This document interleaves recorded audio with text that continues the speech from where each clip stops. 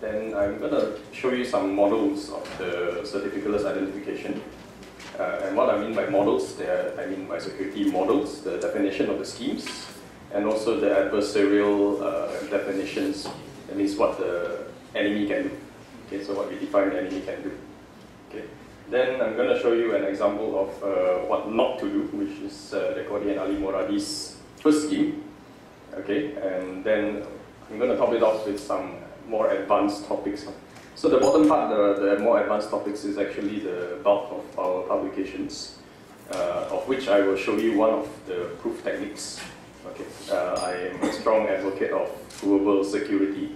So uh, all my schemes, I have the proofs. So I will teach you how to do one, because this is a lecture series. I'm going to teach you how to do one. But if you think that's too advanced, it's okay, you can zone out for, for, for that section, you can zone out. Okay, so it's like easy, medium, difficult then after finish it.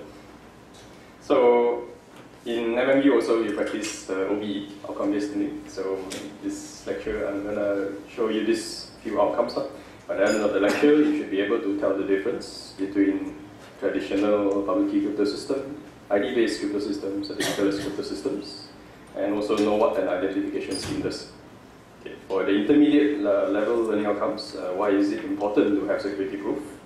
And also be able to describe the security definition and adversarial model for certificateless identification.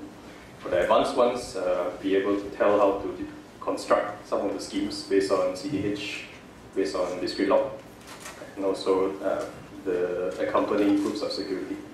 Okay. Any questions about the flow? If you are okay, then we can proceed. Okay, so for the introduction, uh, this is taken from the Handbook of Cryptography, where it is the art and science of concealing information. So we usually have these uh, four goals in crypto. The ones that you normally see is confidentiality, where it has to do with encryption schemes. You want to hide your message so the appropriate users can tell what you're trying to say, the inappropriate users cannot. Okay, But uh, there are these additional other goals, integrity, to check whether the message has not been tampered with, authentication, to check whether the right person is sending it, and also non-repudiation. Once you send, you cannot say you didn't send. Okay, so these are the additional goals. For identification, you're going to deal with authentication. Okay, there are also two main settings, symmetric key, where both parties have to share a common key. That is uh, more Dr. Reza's book later on, uh, block ciphers. But for mine, I'm dealing with asymmetric key, which is public key crypto. Okay, so the parties don't have to share a common key. Now, the good old days of traditional public key cryptography, it was first uh, publicly announced by Diffie and Hellman 1976, or in the classified information 1973 by GCHQ. Okay. Uh, so the idea was for encryption first. Later on, they passed it on to signatures and key sharing schemes. Uh, Public-private key pair is used to generate, uh, uh sorry, key generation function is used to generate these public-private key pairs. Okay, so you have a public key that's published, you have a private key that's kept in secret.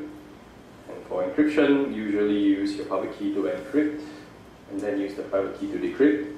For signing, it's the other way around, which is you sign with your private key, and then anyone else can decrypt with the public key. Okay. For key sharing, you combine the keys, and then uh, manage to generate a one-time shared secret between uh, two users. So this is key exchange. Okay, there is one problem with public key cryptography if you use it as it is. Okay, this is where cybersecurity people will tell you, uh, most people will tell you you need certificates for this. Okay, if you don't have certificates, I can just replace your public key. Okay, and so this is quite a big problem. Let's say uh, Bob wants to encrypt to Alice, so he requests a public key.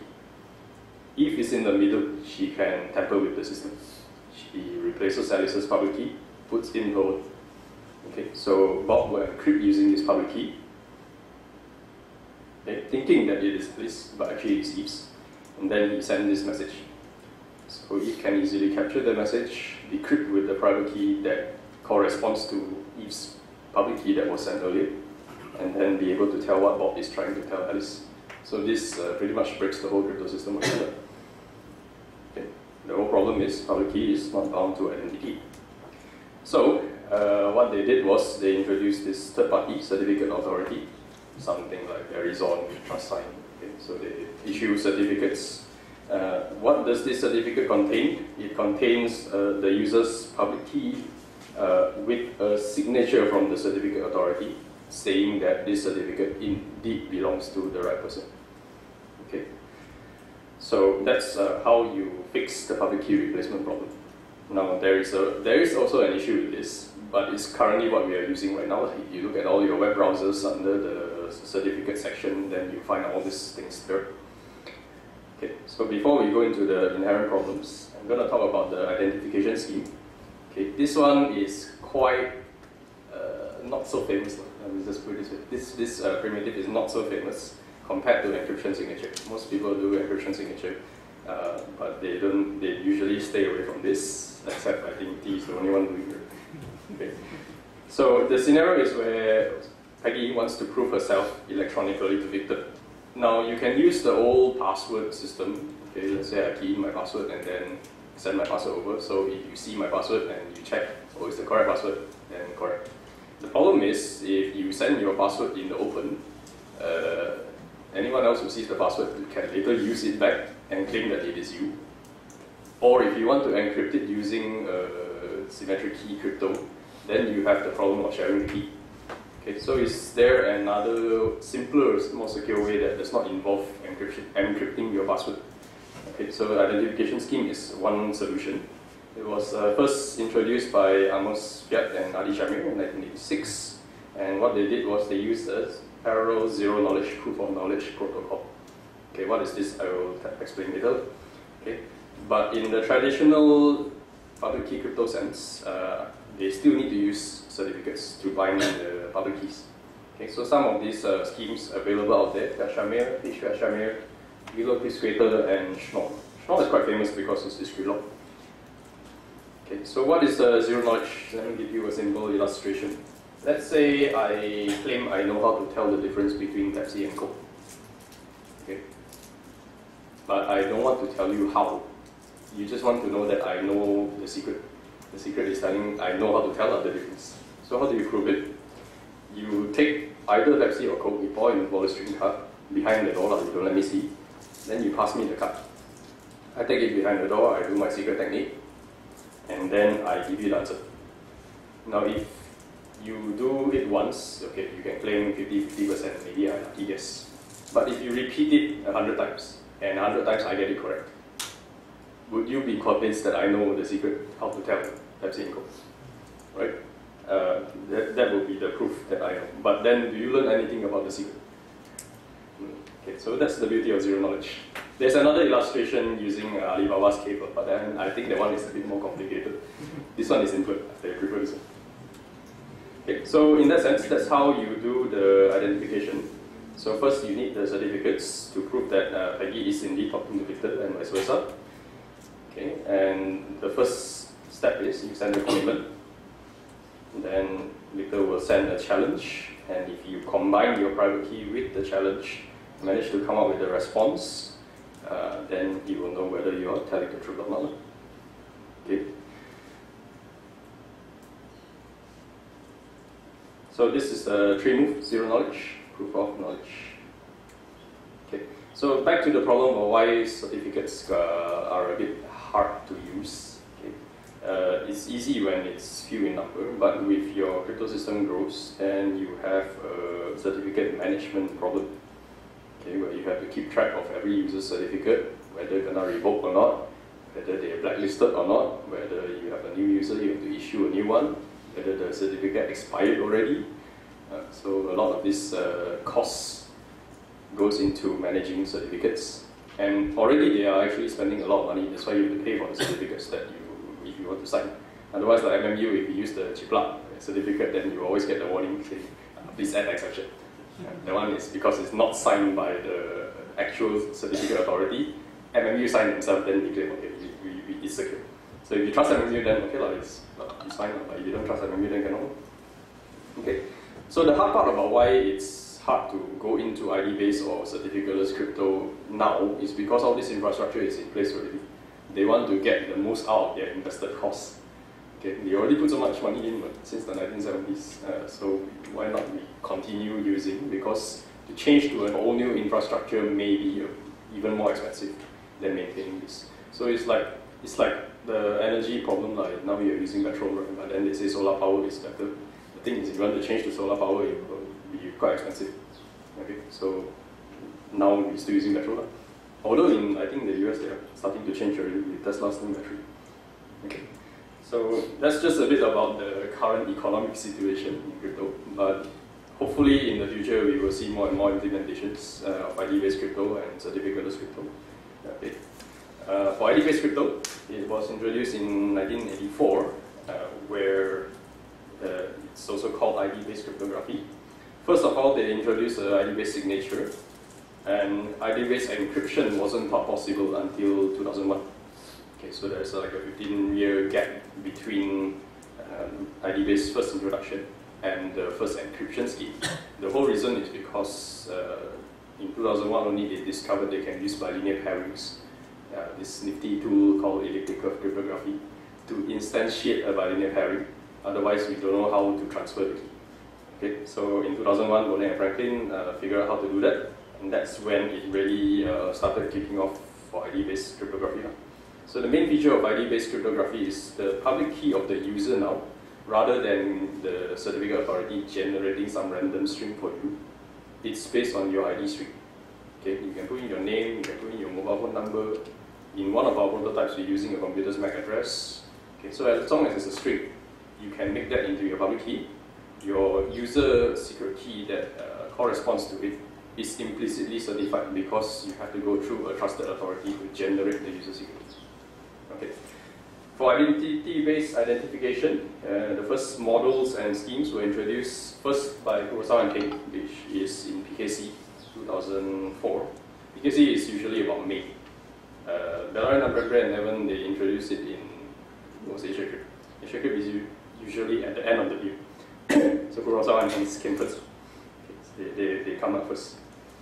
Okay, so what does it look like? Uh, so now, rather than having a certificate authority, you have a trusted authority who generates the keys. Okay, so first he has to run setup to create the system environment, and he also has a master secret key in his possession.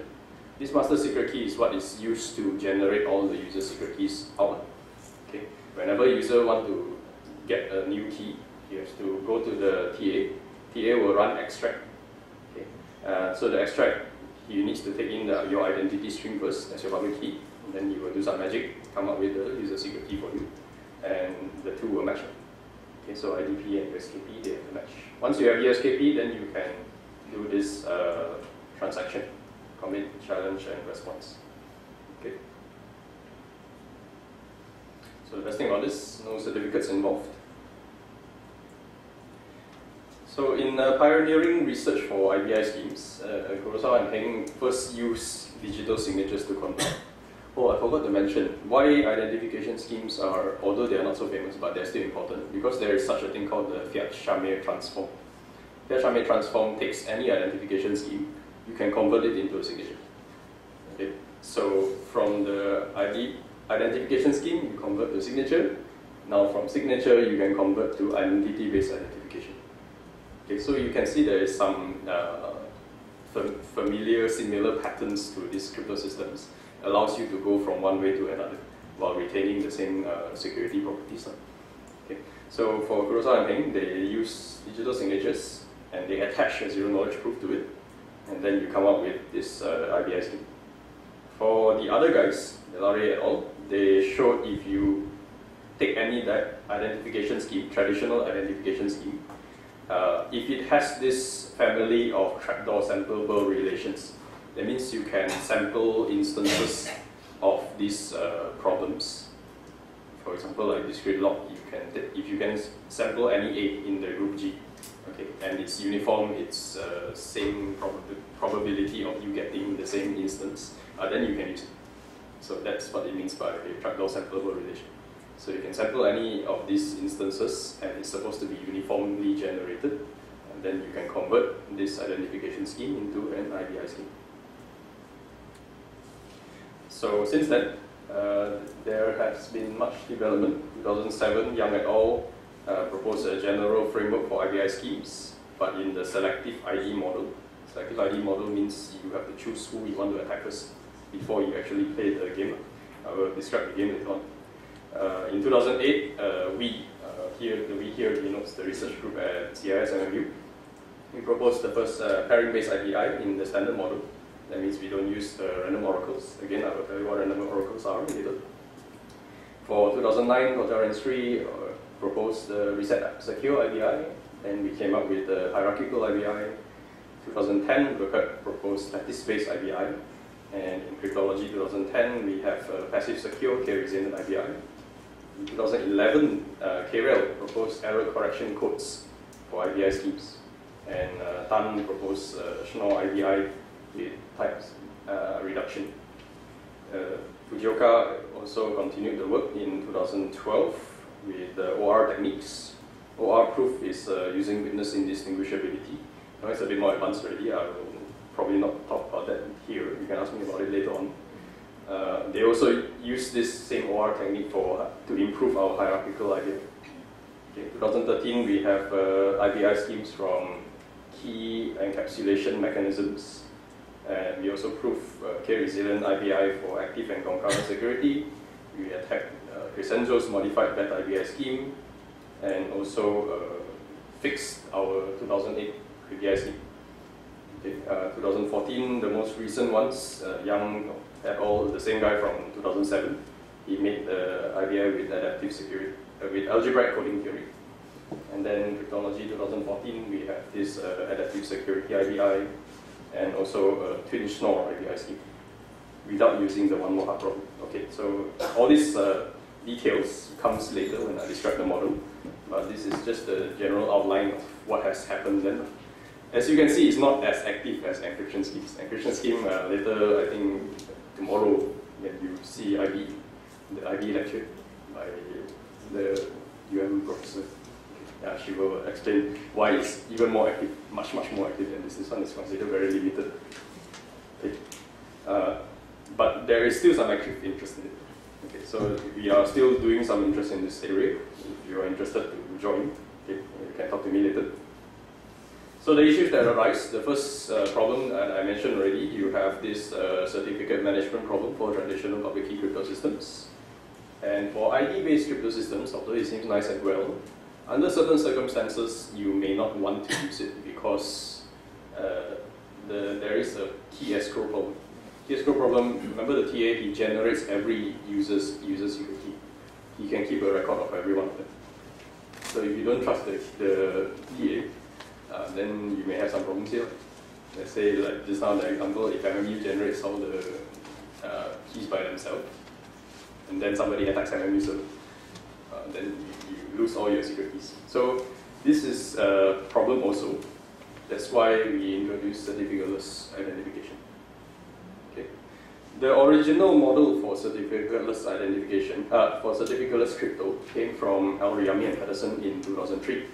Okay. They use it for an encryption scheme, and they also propose a certificateless signature. Okay, so rather than having just four algorithms, now you have the keygen, partial private key extract. These two come from the IBI scheme. But on the user side, you also generate a separate pair of public-private key pairs. Okay, so that's the main difference between certificateless and identity-based. For identity-based, PA just do this, you get your secret key and that's it. You, you can use it to encrypt the. But for certificateless, the user generates the other half of the key.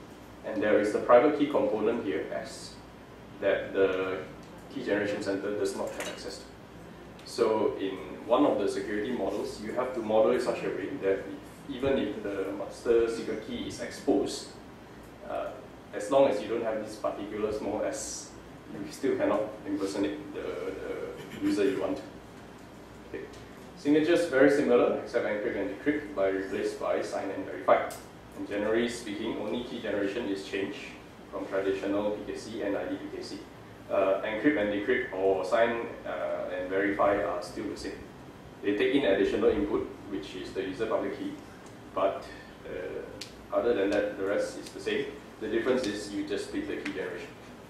Later on, uh, Baek et al. actually combine these two, set secret value and set private key. Okay, you can actually combine these two, so you come up with only six algorithms. Also important thing to note is while Al-Riyami Paterson introduced certificateless identification, uh, Huang et al. later on showed that this his scheme got wrong. Okay, so don't use it. Not safe to use. Okay.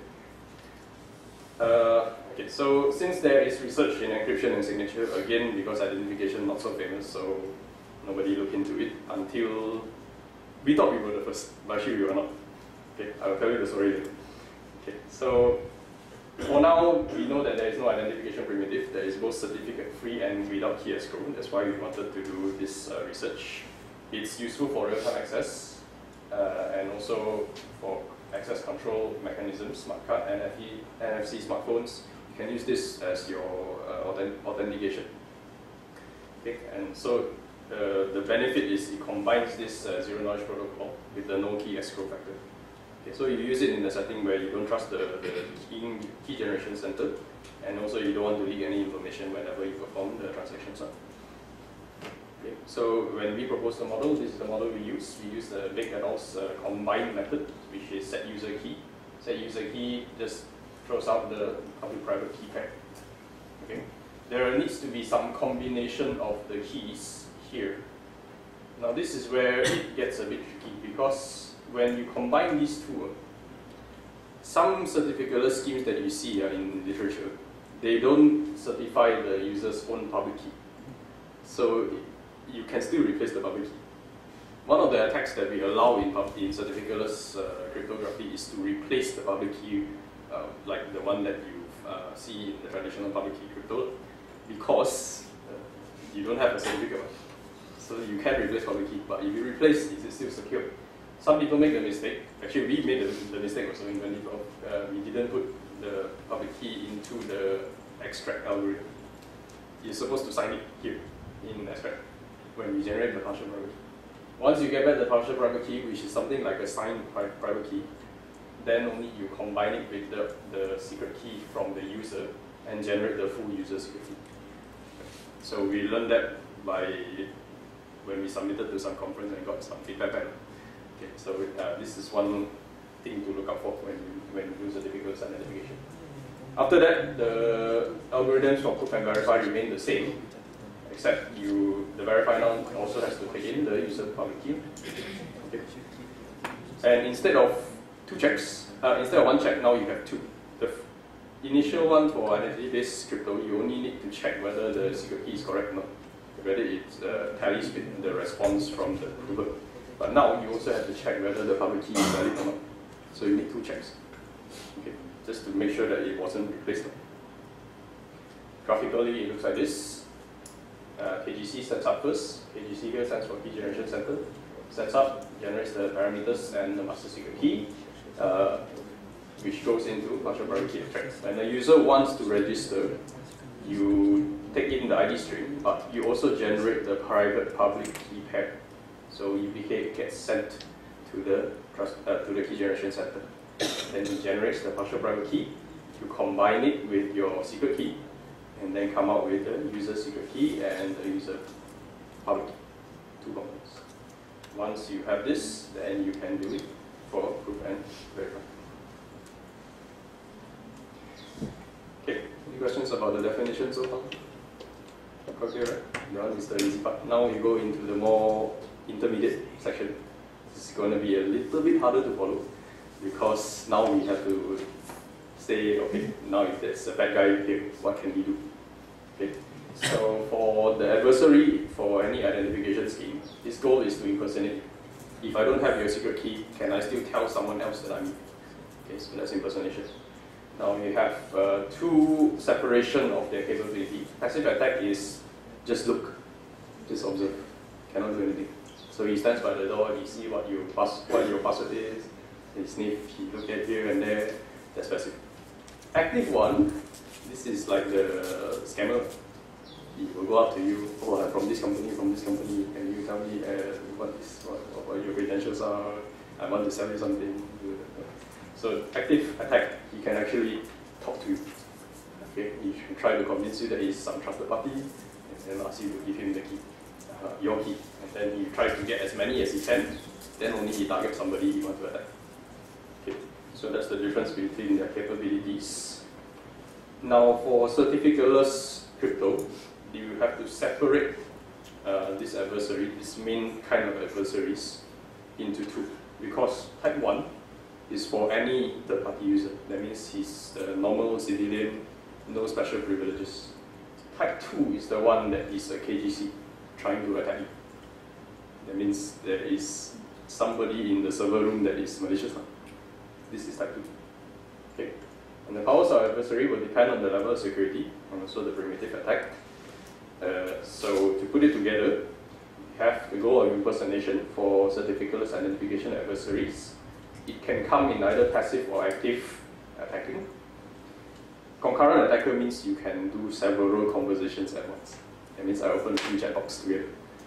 So it's a kind of active attack, but you can run the chat together. I can chat with a few people at a time. Okay, so that is uh, concurrent attack.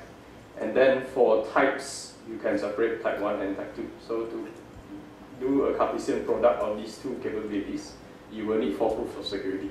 You mean the concurrent one, is it a CCA2? No, CCA2 is ciphertext encryption scheme. Nothing to do with this. And the way you can ask after that, go again. Uh, the access, that one is access to the encryption oracle. And decryption oracle access depend for CCA2 is after you already choose who you want to attack. Then you can still ask the queries. Uh, that's CCA2. But this one is almost similar, but this one is you are chatting with people to learn their, to, to do transaction. If the transaction is secure, you still don't learn anything. Uh, it's quite different, uh, identification and encryption. Quite different. Okay. Uh, so back to this. So combining these two, you have four proofs of security, as opposed to only two for encryption and signature. Because encryption signature, you only have uh, CCA or CPA. Okay. Usually you want CCA. Uh, but here you got IMPPA, IMPAA, CA. Got two types. So combining all four, you have type 1 passive, type 2 passive, type 1 active, type 2 active. Okay, so uh, for all the papers that we present, we have four proof of security. Okay, to further complicate matters, what happens once you replace the public key? So this is what Pang et al. Uh, tried to study, and he came up with these three subclasses, depending on the power of replacing properties. Some, like the normal type, means once you replace, then you don't have access to the guy anymore. Let's say if I replace Dr. Rizal's public key, then I cannot use him as an instance already. That is it. This is normal type which is the weakest. Strong type, I replace, but I must give him a new secret value to replace the, the old secret value. I, I need to give it to him. Uh, of course, this is not very, doesn't very make sense. Because if I replace already, why do I still want to give him? So the strongest one here is I replace, I don't need to give him a new secret value, but I can still use him as one of my kunchu to, learn information from others, to attack other people. Okay. So he further separate into these three. Of course, the one that we target for is super, but if you cannot super, then at least strong. Normal one is almost the same as ID security, because even if you re don't replace the public key or you replace the public key, makes no much difference because after that you cannot use it again. Okay. So, okay. So now a bit about provable security. Provable security is once you have the adversary, you define the adversary like this already. Define it like this already. Combine the goal, combine the capability. Uh, once you have this definition, how do you do the proof? The proof is usually you separate into two phases. Okay, two phases. First, you set up the system environment. Then in phase one, you give him training. Okay, you say, okay, besides, let's say uh, in this whole class, in this whole class, I'm the I'm the challenger, and maybe Amir is the attacker. He wants to attack somebody in group. Yeah, I don't know. I don't know who. So I have to create the whole environment for him. I have to make him believe that he's in the real system. Okay, uh, and then he can ask me any question. Let's say if he asks me a question on Zoella's uh, security, I have to give it to him. because it's not the one that he's trying to attack. So he does not have to choose yet who he wants to attack. He can just ask anyone, anyone. Okay, maybe ask, later that he asks Dr. Rizas. Okay, uh, then uh, to up to n queries, like you can ask almost everyone except the one person you want to attack. Okay, so let's say after he asks already, finish phase one. In phase one, you can ask all these questions. Lah. What can he ask? He can ask for the full secret key. That means maybe he go bribe the person, buy the key from him. Can he ask the part, partial private key? Maybe he bribe me because I'm the I'm TM. He bribe me, I give him one. Okay, so I only have part of the key. I don't have the full key. So I just give him the partial key. He can request for the public key. This one doesn't really make sense because you can just look it up on the public directory. That's why God or don't have, some people don't even define this. But this one you can replace. Uh, let's say uh, ESX, I have the directory here. Then he pay me some money, he can go erase it and then write a new public key for somebody. Okay, so that's uh, replace public key. That's all to do with the key challenge queries. He can also ask for identification queries. Let's say he want he wants access. Maybe he asks uh, another Ruslan. He wants to talk to you. Okay, so I say go ahead, go talk to him. You can either do a passive attack. That means he tengok how uh, Dr. Ruslan authenticates himself, and he just spy. Or he can play. He can impersonate me as the authority. Go ask Dr. Ruslan. Uh, I need to check your credential. Okay, and Dr. Ruslan has to respond. So that's the different uh, identification queries that you can ask. Also, to separate between the subtypes, you got a normal, strong, and superman. Even. And depending on whether Dr. Ruslan's public key has been replaced already or not. If replaced already, if he cannot ask anymore, that means it's normal type. If replaced already, still can ask, but don't have to give him a new secret value, that means it's super type. And somewhere in between, it's a strong type. Okay, so he can do all these actions. This is how we define the adversary actions. And he can do this in any order. Okay, uh, that's why it's proof by contradiction. You can do it in any any way you want, and it still says the case. Finally, after he was asked all everything he want already, phase two is where he uh, does the challenge. That means he has to choose somebody he wants to attack. That the restriction is the identity that he wants to attack. He cannot ask for the full secret key before. Okay, he cannot ask for the secret key before. This part, this. So if he, let's say now he comes up and he say he want to attack uh, Kasus, so he's, but Kasu he already asked before, so failed. This this whole experiment failed already. Okay, but if he asks anyone else, let's say he asks Wansariman, uh, then can. Okay, because he never asked any information about Wansariman before. You can talk to him. That means you can have a conversation with him. You can ask identification query. You can even replace Wansariman's public key, but you cannot have asked for the full secret key. Okay, so as long as just now, uh, for example, Wansariman's secret key not asked before, now he tries to impersonate Wansariman to me. And if his conversation is correct, he wins. If his conversation is incorrect, he loses. Okay, so we want to limit this probability to a negligible function that even after he asks all these questions, then he wants to impersonate one Wansariman, still cannot. Very small probability. And that probability is epsilon. Okay, so the, the, the parameters are here. T is the time, that means the time that he needs to ask all the questions. Qi is the most of these questions that he can ask. And epsilon is the probability he succeeds. Okay. The same is for type 2 adversary. The main difference for type 2 adversary is you don't need to ask partial secret keys. Because now he is the trusted authority. He is the generation setter. He has the master secret key. So uh, this is more powerful, definitely. Okay. Now the there is also one restriction in addition to all that, because if we allow him to replace Wansariman's public key as a trusted authority, uh, then the whole scheme is insecure already cannot. So the caveat for certificateless identification against malicious servers is you can replace anyone's public key except the one that you're trying to attack. Now this is the one that does not really make sense to some people. Lah. Okay, but then it's always been argued how much you want to trust the server anyway. Okay, so in a sense, when you come with the proof, you need to allow this. Okay, otherwise, you cannot prove it secure. There's no scheme that is secure if you can still replace the public key, have access to the master server, master secret key, and still be not be able to impersonate. You just can. It's quite impossible to do. Okay. Any questions about the model?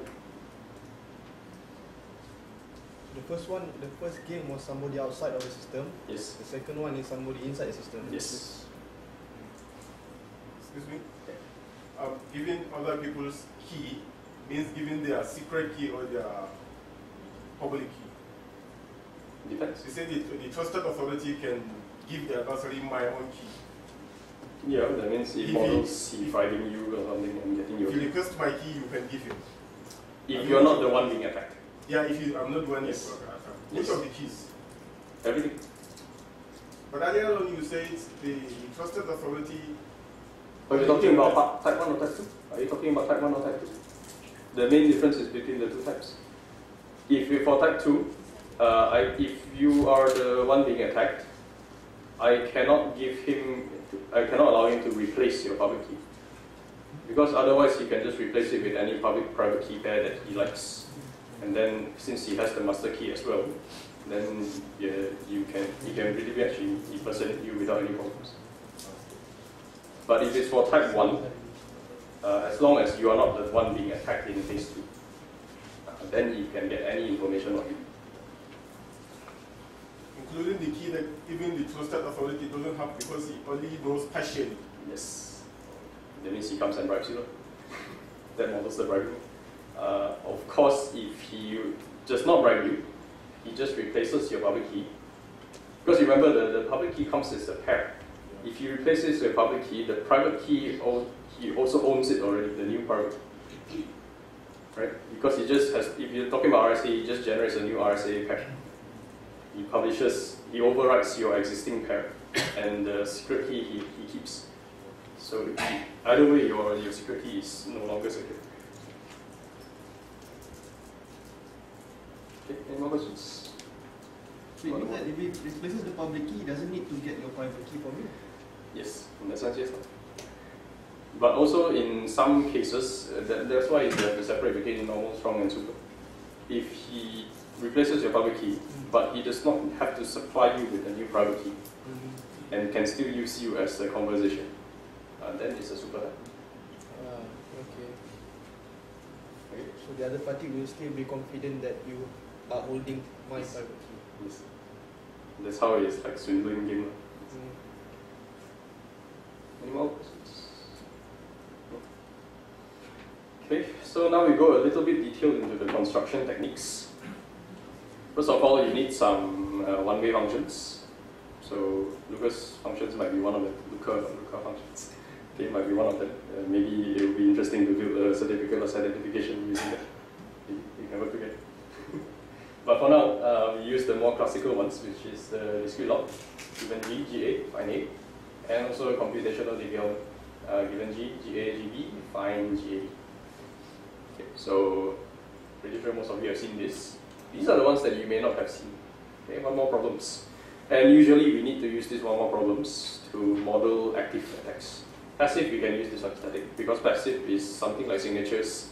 One, you can only observe. You don't have to do any interaction. You don't need in additional information.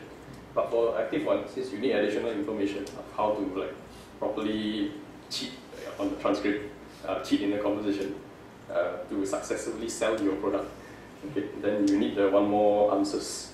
Okay. So what are these uh, one more hard problems? One more hard problem is multiple answer instance of the one problem case. So this one is you get GGA, you only find one A, one instance only. One more is you can have access to question answer. That means you can have many G, A's and A's. But in the end you have to answer one by yourself. That means you can check, check, check, check, check, check until you pause and then you have to answer one by yourself. Okay.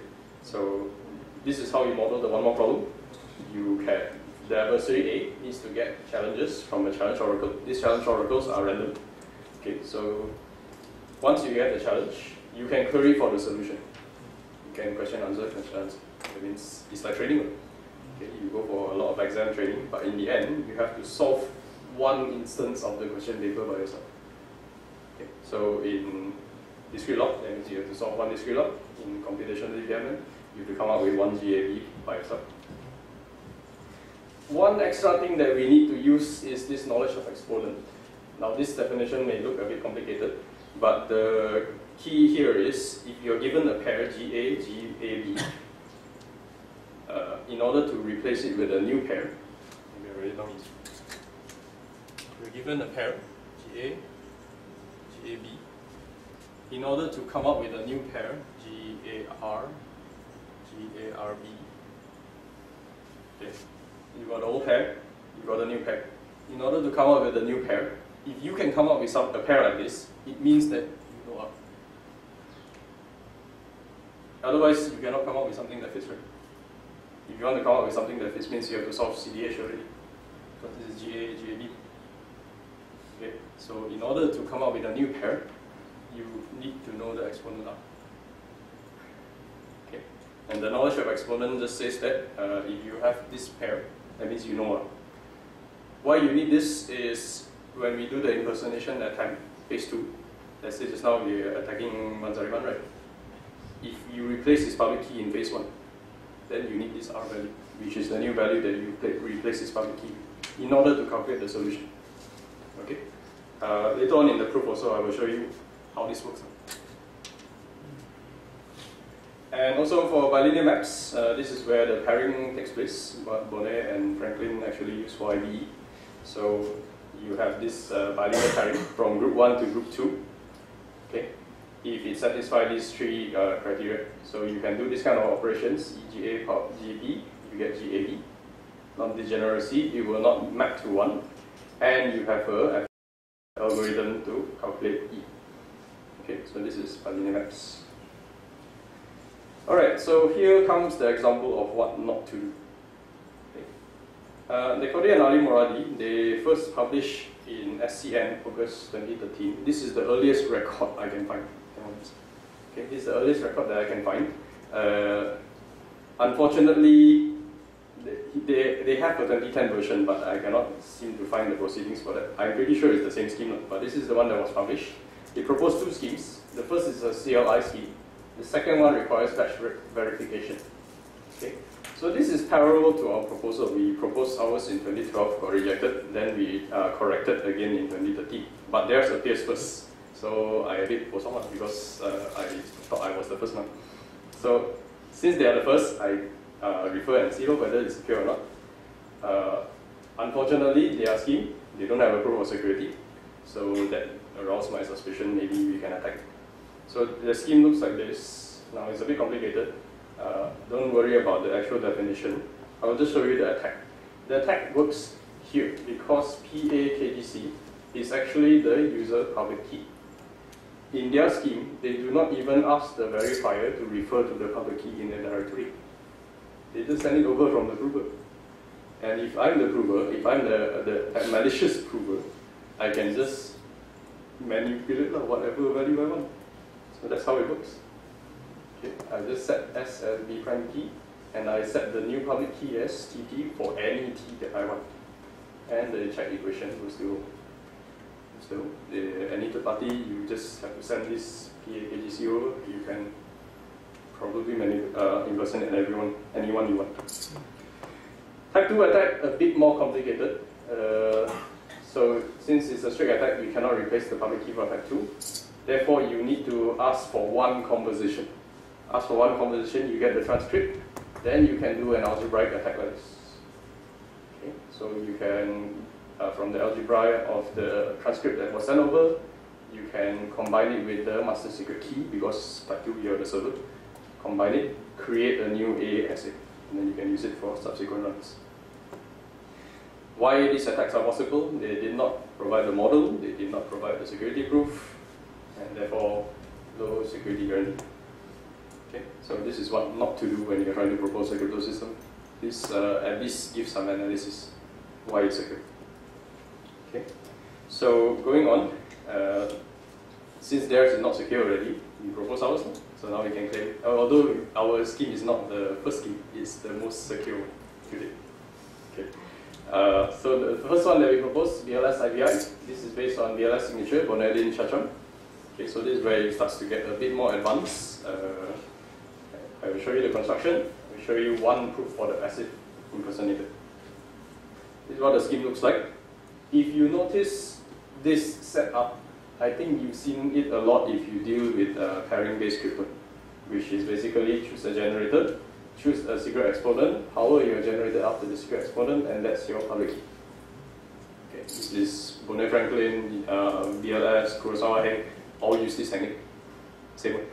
Okay, for the private partial private key extract, you find Q, which is the hash of the identity, and then you power it the master secret key. That's your user private key. Okay, for identity-based identification, this is your user private key. Then you just use D for proof and verify. But since it's certificateless, you have to generate your user secret key as well, which is another public private key pack.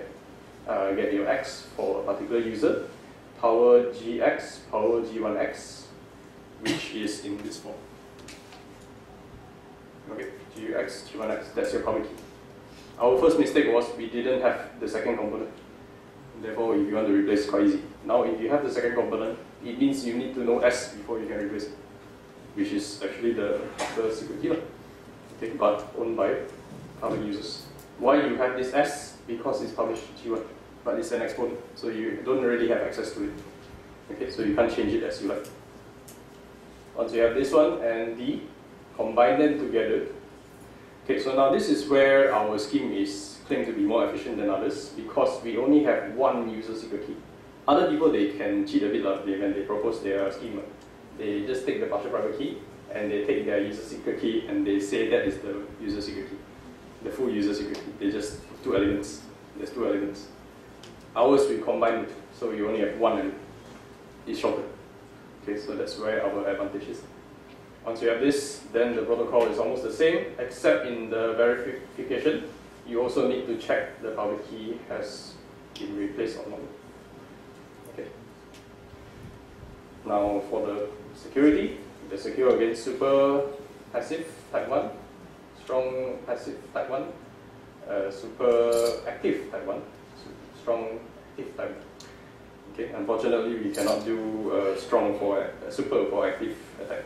So that is still a work in progress. Okay, so this now there's the reminder of all the security concepts. Now this is the part where it is very, I mean, you, you may not be interested in this, so I'm going to just go fly through this. This is the proof tutorial of how we do the game. Okay, if you don't want to listen, you can zone out for a while. First of all, we have to program a random oracle. Random oracle is a hash function, but rather than having collisions, it's uh, free. That means you can, it will always be random. The random oracle is programmed by keeping a list of queried IDs before, their associated hash values, and for these hash values, you also power with the exponent k to further randomize it. You also track the public key pairs and also the user secret keys. This flag is to determine whether the public key has been replaced or not. When you start is zero, if you replace the public key, it turns to one. Then of all these IDs, you have to choose one of them to be your target. Okay, choose one of these identities to be the target. Okay, and then you can start your simulation.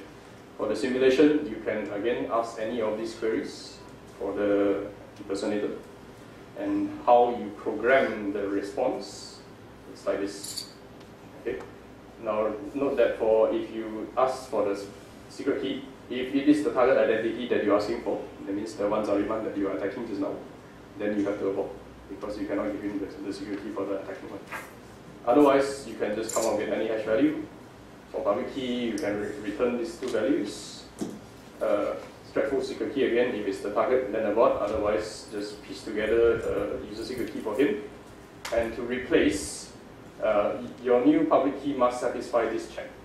That's why this is a bit harder for them to replace now, because it has to verify that this equation is correct first. For identification queries, uh, why it's super is because if you want to simulate the M conversation, just pick an L and a C and work backwards. Send the response first, V, which is this one. Send the response first, then the challenge, then the, the commitment. Okay, and the commitment, because you have C, you can cancel. There is a way of cancelling it out so that the check equation is fulfilled. When in phase two, that means uh, impersonation phase, I has to come up with this uh, valid responses, okay, and then M will perform a reset, get another pair of transcripts. That's why you need the reset lemma from, from Bellare Palacio. And then be able to calculate the user secret key, assuming that he manages to successfully uh, impersonate twice. So this is where the negligible probability comes in. Okay, you he manages to impersonate once, twice. So negligible times negligible, you get even more negligible. Uh, and then from these two transcripts, you can come up with the user secret key. Why you need the knowledge of exponent? Because if it was replaced with the XR, let's say he manages to come up with a new public key pair that is uh, contains the R in here, then you use KEA to extract R. Okay. Once you extract R, then you can calculate the solution for computational Diffie-Hellman. So the proof of contradiction is you cannot calculate uh, CDH. Therefore, there no such A exists. Okay, so that's the way how the proof works. Efficiency analysis. This is in our paper. Uh, obviously, you need a few more pairings in the verifier because you have to do two checks. Original IBI scheme, you only have two pairings. And why we look at pairings is because one pairing is about 1,000 times exponentiation. Okay, for alternatives, we have the Schnorr CLI, which is an alternative construction for BLS CLI without pairings. This is solely on discrete log only. Okay, the good side is fast and efficient, secure against super, both type 1 type 2. And the downside, because it's discrete log, the group size is larger because it's not easy, not easy DLP. Okay, this is how the scheme looks like you know, from our paper. And also, you can further reduce the computational complexity by doing some pre-computation. Lastly is the one from the Waters CLI that does not require random oracles. Here we uh, construct using the Waters hash function. Unfortunately, because of that, we only managed to achieve strong for type 1, type 2 active. Okay, this is what the scheme looks like. And also the security theorems. Again, with the pre-computation, you can reduce the pairings, uh, sorry, reduce the number of pairings from 8 to 5, uh, from 9 to 5. Okay, and that's about it. So, uh, what we've done here, introduce the first security model. I show you the BLS, the first concrete scheme. Uh, show you what not to do with the cryptanalysis, and also show you two more pairing-free and standard model schemes. We have uh, implementation on Android. This was published last year, Cryptology 2014. But we also have some future work to do. Okay, so it's the future work to do that is uh, what I'm looking for help for. So the grants that help uh, this research and the related publications. Uh, so here is some free publicity. Can you put back to the publication? I want to look into. Uh, you can just look up my Google Scholar, it's all there. On my FOU webpage. Ah, no. Uh, and if you're interested in working with us, okay, I have one opening for FRGS on type of proofs. However, because it's FRGS, therefore only local students apply. Uh, I also have one opening for MMU GRA, but this one, because the pay is higher, so we need first class degree. If, if you all are enrolled already, please don't come. Follow back your own supervisor, but do tell your friends who are not yet enrolled. For those who are from companies, we do consultancies also. Uh, currently, we have our own in-house pairing library, identification prototypes. Uh, we are also working for uh, searchable encryption. Okay, so we've done a few short courses. One is with Dr. Reza. I did a provable security short course for him. Uh, how many years ago? About two years ago. Uh, if you want further information, you can check out our center websites, or you can just talk to me over lunch. Okay, I will. This time I have to not sit with the VIPs, now I talk to them. okay, so that's it. Can you talk a little bit about the Android part? Android part, Yeah, using Java, whatever, Java. name, and then, using Java. and then We have a library that Dr. Tan wrote by himself in-house. It's comparable to jPBC and JPEG, and we've done the simulations. Comparable as in, it's slightly slower because we're not as good as Is Monero. there e- ever, ever, if you ever experience hang up in an Android? No, it was quite well. actually. Still okay, still okay, not up in Android. It was quite well. Have you tried it on JMP? Compare the performance? No. Uh, but the thing is, we don't need to actually run the pairing on Android. Because the pairing is usually run on server. Server is a computer. So what Android do? Android is the client. You are the broker. He owns the secret key. But the pairing operation is not involved. So this means you, you, you not set up the application clients uh, using Android handphone, huh? No, it is it is client Android handphone. But if you look at the algorithm, there is no pairing here. Right? Oh, this one got. Sorry, this this this scheme got. But you look at the BLS one. No, there's no pairing here. Pairing is on the server. We thought about that also. We thought we had to run everything on Android and then we like calculate it. How come so long? But actually don't have to. Because you only have to generate the commitment and response. Don't need to do that. That is. in considering for security for incident, once we prove for the stronger text, CA, then it's include the. Uh, Yes. But you see that for IBE, we need to prove all the four types of the Well, you only need type 1 CCA, type 2 CCA. No, For for. IBE, This is IBI. uh. CI actually. CL. CL. So to do this, we need to prove that Because I've got passive and active. Yours you only have CCA, right? Unless you want to do CPA. If you want to do CPA, then you got type 1 CPA, type 2 CPA, type 1 CCA, type 2 CCA. But in if we already prove that CCA